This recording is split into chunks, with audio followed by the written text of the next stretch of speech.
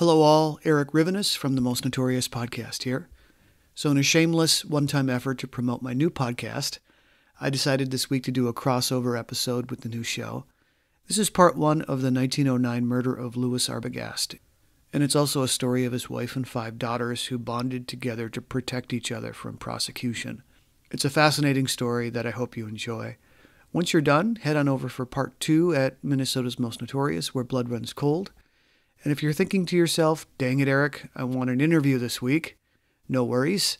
I've included an interview there too. It's about Marjorie Congdon and the Glensheen murders, quite possibly the most infamous criminal and string of alleged murders in Minnesota history. It's, it's a real soap opera. So, again, Check out my new interview this week on Minnesota's Most Notorious, Where Blood Runs Cold.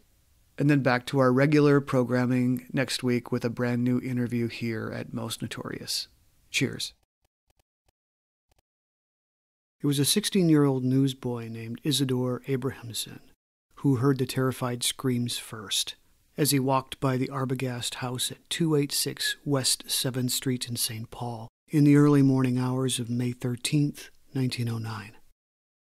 They were standing outside on the step, two sisters in nightgowns, Ida and Minnie, both highly distraught and overcome with emotion. Ida cried, My poor papa! Won't someone please help my poor papa? While Minnie stood by, shrieking at the top of her lungs. The boy ran up the steps and into the hallway where the other Arbogast sisters, Louise and Flora, stood, weeping and wailing in grief.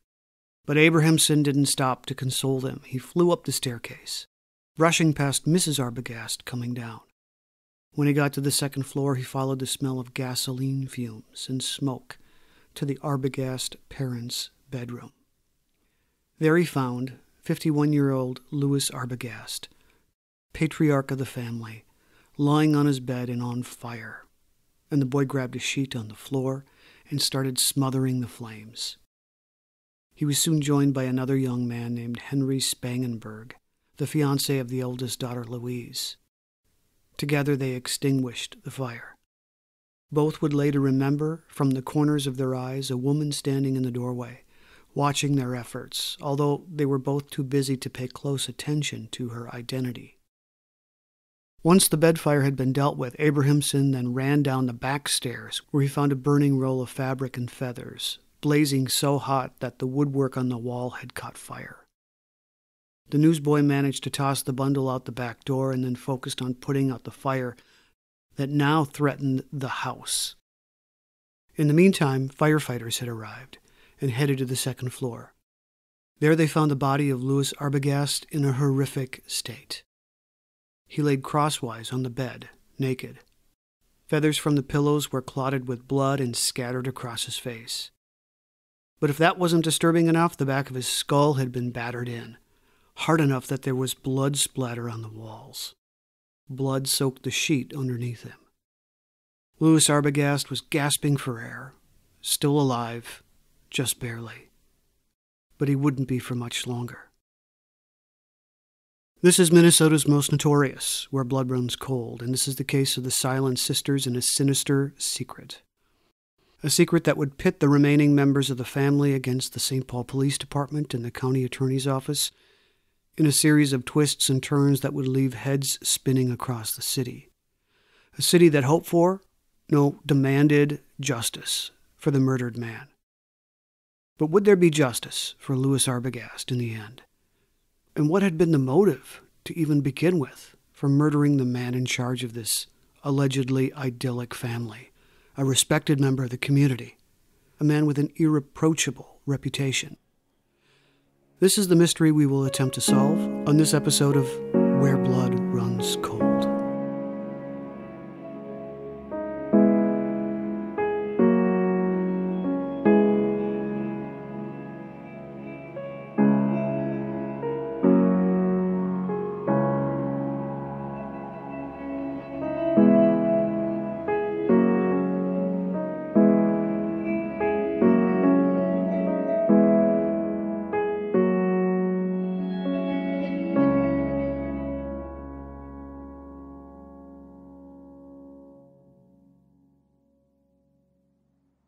By all period measurements, Louis Arbogast had been a successful man. His prosperous butcher shop sat at one of St. Paul's seven corners on West 7th Street. And his house, a less than modest two story beauty, surrounded by a short iron fence, was only a five minute walk away. He was a plump, dark haired, and mustached German immigrant who had taken good business sense and skills with a butcher's knife and created a comfortable, stable life for he, his wife Mina, and their five daughters. His worth at the time was rumored to be $200,000, a small fortune in 1909.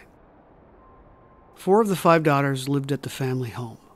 Flora, nicknamed Babe, was 16, Minnie was 18, Ida was 22, and the eldest, the beautiful Louise, 23. The fifth daughter, 19 year old Emma, lived with her husband, Lawrence Ulmer, on South Exchange Street, only a block away. It seemed on the surface the perfect family. The daughters were all vivacious, carried full social calendars, and appeared independent and confident. So when the neighborhood was awakened by the piercing screams of the frightened sisters at a few minutes past 4 a.m., it would be impossible to predict, at that moment, to what lengths the women of the Arbogast family would ultimately go to keep their collective secret intact. Louis Arbogast, tenuously clinging to life, was loaded into a police ambulance as the frenzied sisters gathered on the front lawn and died on the way to St. Luke's Hospital. His wife Mina, assumably in bed with her husband during the attack, had suffered burns as well and was taken to City Hospital for examination. As for the police, they soon converged on the house looking for evidence. Once detectives entered the home, they found Louise on her hands and knees at the door of her parents' room, sobbing. Detectives Daly and Sweeney followed blood drops from the bed, down two flights of stairs, and into the cellar. After a search, they found an axe, freshly stained with blood that spattered up the handle several inches. It had been poorly hidden under some clothing. They wrapped it loosely in newspaper and had it carefully carried out of the house. Upstairs, in the Arbogast bedroom, an empty two gallon gasoline can with a strong smell was found near the burned bed. And there had been no attempt, or more likely no time, to return it to its usual place in the cellar after it had been used, assumably, to douse Mr. Arbogast. Parts of the sheets were still soaked with the liquid. The question of whether someone might have snuck in and committed the murder was put to rest for the police after examining the house and the surrounding area. Firemen later told him that they had been greeted by a watchdog when they had first arrived, a dog they later learned had prowled the fenced in yard all night.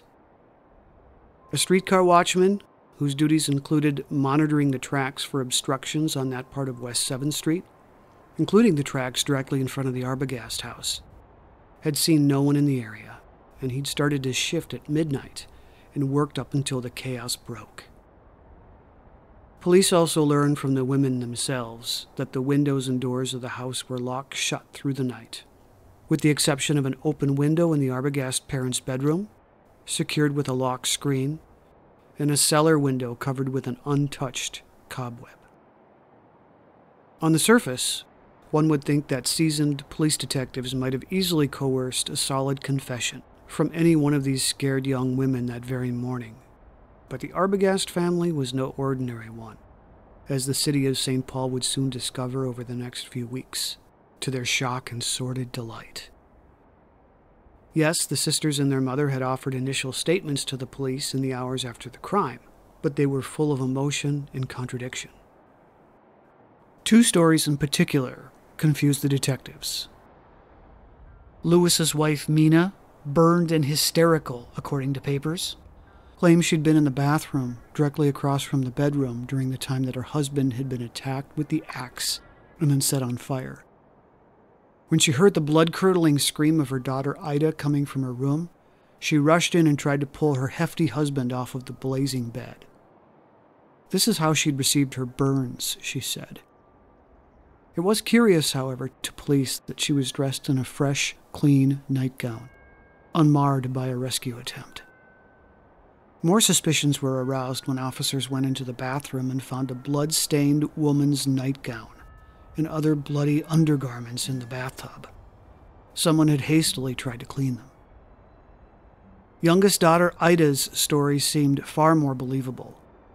She'd been disturbed from her slumber in the bedroom she shared with her sister Louise by her mother's screams, she'd told the police, and rushed into her parents' room where she saw the bed on fire and her father's head bashed in. Her mother was lying next to him, her back facing his body. Ida ran to her mother's side, took her by the arms, and dragged her from the bed. Then, she said, the rest of her sisters awoke and ran down the stairs in a frenzy to get help.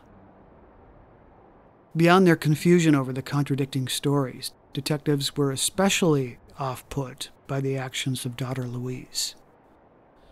After the fire engines had left, one of the managers from the Arbogast butcher shop came up to the house. He'd grown concerned when his boss hadn't shown up to work on time and was met by Louise at the door. Papa is dead, she had told him. The gas just fell down on him and burned him. When he went inside, Mrs. Arbogast gave him a similar story. The gas fell down and burned him, and I am also burned. Louis Arbogast, by the way, had already been whisked away to the hospital at this point, but the family had not yet been notified of his death. Given no more information by the women, the butcher shop manager assumed his boss had committed suicide by gas and dashed off to find the family's doctor. When he returned unsuccessful, he was told a brand new story by Louise. Papa has a hole in his head.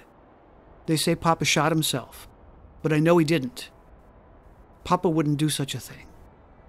When Ida screamed out, she continued, I came downstairs, and when I came back again, I saw the man who did it. He was standing pressed up against the wall on the stairs. He was just about your height, with tousled hair, and had a cap on, and his eyes looked straight at me, and I flew upstairs. And when I looked around again, he was gone. That's the man who did it. The detectives checked for a gas leak and found none. Local reporters, descending on the house later that day, were met with locked doors and silence. When a photographer tried taking a picture of the watchdog in the backyard, it was summoned by one of the girls back inside. More witnesses observed the family's stable boy shredding the murder mattress into pieces behind the house. When the boy was questioned by reporters, a voice from the house demanded that he stay quiet. No explanation was ever given by police as to why they didn't collect the mattress as evidence. Police cleared two of the suspects that day, the significant others of Louise and Emma, Henry Spangenberg and Lawrence Ulmer. Lawrence and Emma had been asleep in their own home when the murder happened, and Spangenberg had arrived at the Arbogast house after the commotion started. Both denied knowing anything about what had happened and refused to speculate on motive. Emma obviously had an alibi too. She was the only one of the daughters who hadn't been locked up in the house, but of course remained mum when questioned by police. It was as if a giant wall of silence had sprung up around the entire family and their staff.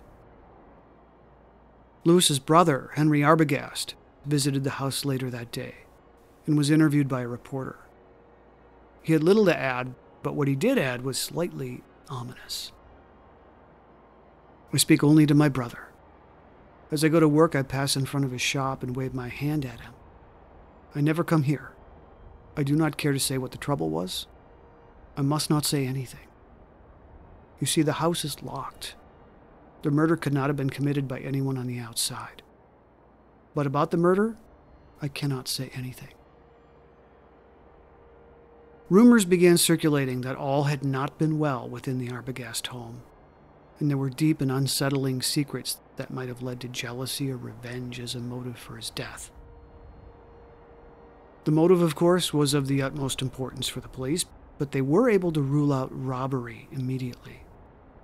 The father's gold watch and over $50 in cash was left on the bureau in his bedroom, and when police arrived, it was still there.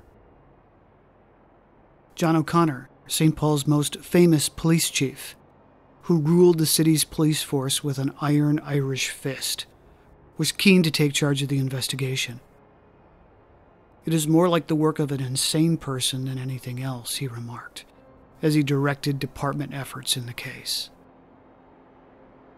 An initial theory was that it had been an attempted double murder, as Mrs. Arbogast also laid in the bed as it burned, but that was sensibly set aside as there had been no attempt to bludgeon her with an axe, like her husband. The coroners who examined Arbogast's skull guessed that the person who had wielded the axe was probably not very strong.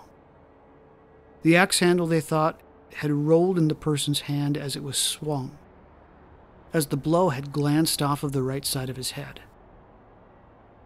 While the skull still had been crushed, and with enough force to splatter blood on nearby wallpaper, a stronger person would have shattered the entire side of his head beyond recognition with a powerful, well aimed slice of the blade. Instead, their conclusion was that the butt had basically bounced heavily off of Arbogast's head.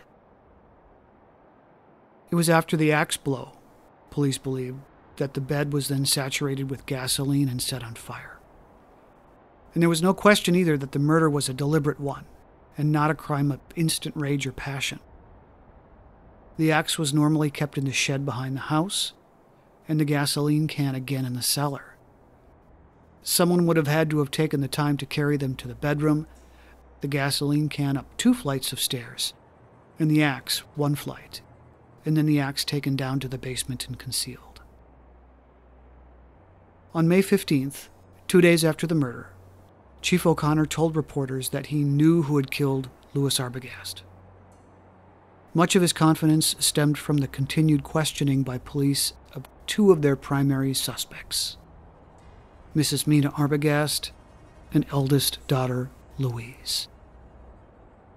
Mina Arbogast, checked into City Hospital to treat her injuries, was being closely guarded and interrogated by detectives. As for Louise, after the murder, she'd grown more and more upset and excited as the day had worn on and checked herself into St. Luke's Hospital for a rest cure.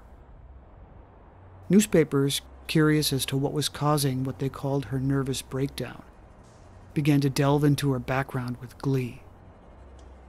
She had been known in the past, they wrote, to visit fortune tellers regularly and spend large amounts of money to help them make life decisions for her.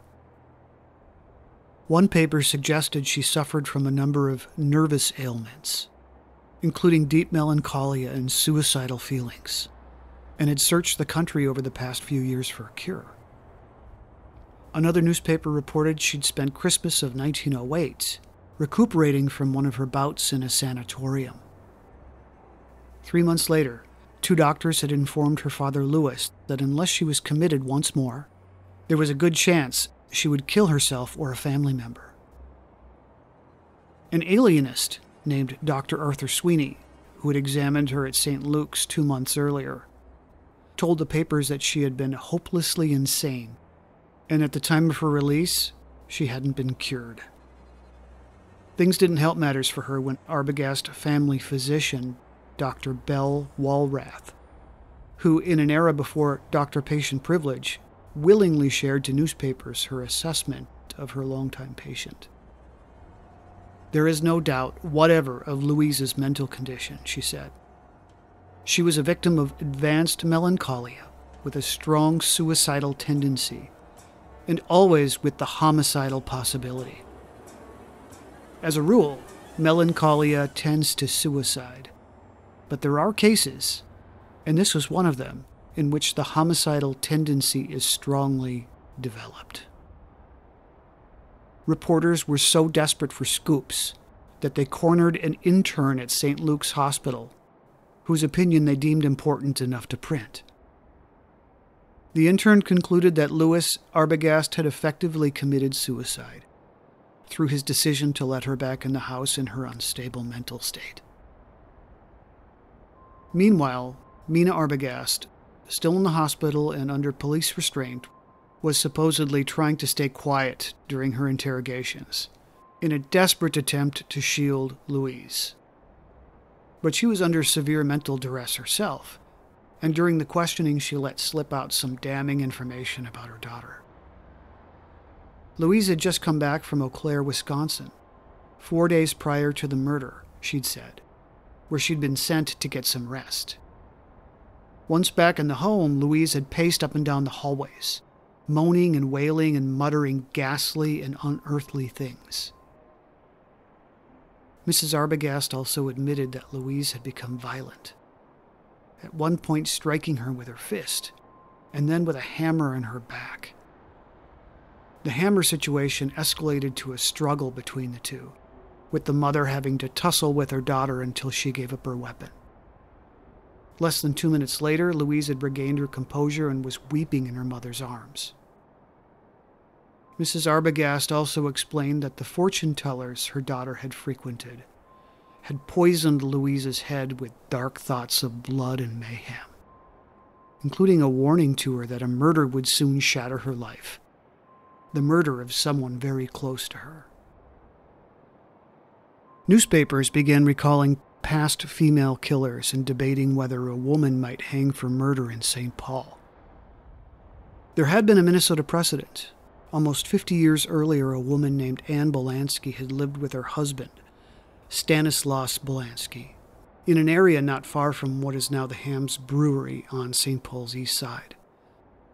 She'd poisoned her husband with arsenic and after almost getting away with her crime, suspicion was aroused when she began having intimate relations with a man she'd told everyone was her nephew. In addition, a witness came forward, a friend of Anne's, who'd remembered her buying powdered arsenic not long before.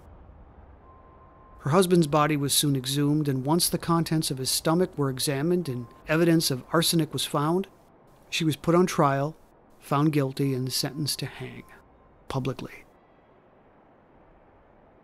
The funeral for Louis Arbogast was held at Christ Church on Sunday, May 16th, under Masonic direction. And Louise, with two nurses as escorts, was allowed to leave the hospital and attend with the rest of her sisters, who had all been confined to their West 7th house since the murder. Hundreds of curiosity seekers gathered outside their home, watching the sisters like celebrities as they stepped into carriages and followed the procession to the church. One reporter, eager to find anything that might point to Louise's guilt, noted that she'd refused to look at the body of her father as he lay in his casket.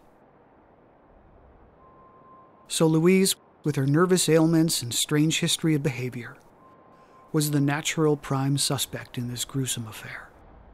And on May 17th, less than a week after her father was smashed with an axe and burned in his bed, his widowed wife would offer a brand new story to detectives that would confirm what they'd believed all along. Chief O'Connor explained how his detectives, Sweeney and Daly, had managed to withdraw a confession. They'd simply worn Mrs. Arbogast down to the point that she'd finally given in and told him that her daughter Louise was guilty. When pressed, she confessed to what happened that early morning of May 13, 1909. At 4:20 a.m., she explained, she'd come out of the bathroom and discovered Louise, wild-eyed, staring at her father as he lay in the flaming bed. The bloody axe lay at Louise's feet.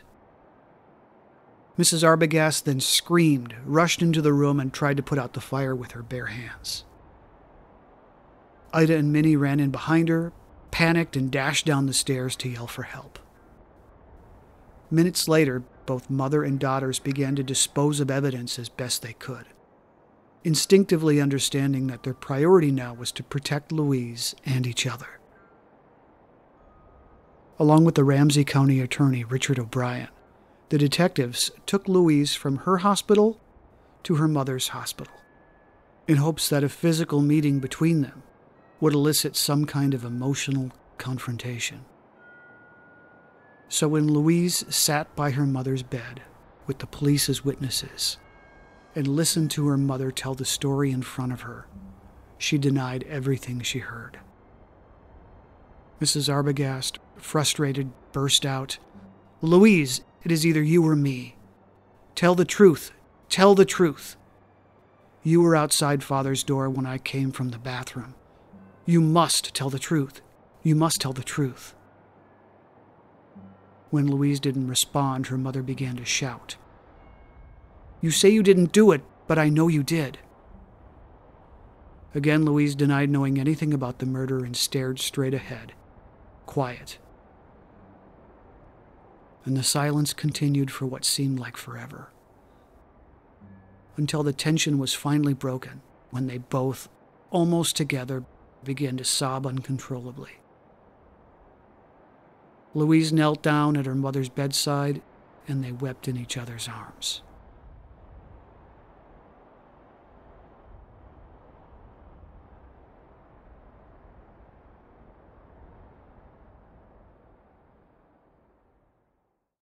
On the next episode, which concludes the story of the Silent Sisters and a Sinister Secret, we learn both the final fate of Louise Arbogast and what was really going on behind the locked doors of the Arbogast house, including dark and disturbing rumors that could well have served as a motive for someone else in the house besides Louise to bludgeon and set fire to the patriarch of the Arbogast family. Thank you so much for listening to this very first episode of Minnesota's Most Notorious, Where Blood Runs Cold. I envision this podcast ultimately as a place for all things true crime in Minnesota. Most of the episodes will be narrations like this, but I also expect to occasionally fall back on my regular, most notorious format and interview authors who are experts on local murders and mayhem in our fair state. I also plan on throwing in a biography every once in a while of a person who played an important role in some historical misdeed. I also encourage you to find us on Facebook, where I will post photos, diagrams, and illustrations of the various cases covered here. And if you want the deep cuts and be a real accessory to the crime, become a patron at patreon.com slash most notorious. Again, thank you for joining me at Where Blood Runs Cold. Stay tuned for more terrible tales of true crime in Minnesota soon.